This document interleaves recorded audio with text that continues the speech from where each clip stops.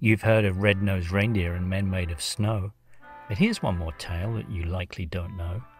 Tis the story of Marv, the holiday berry, and he's filled with a mischief that seldom can carry. He looses the lights you hang on the tree and writes bad Hallmark movies that go on TV.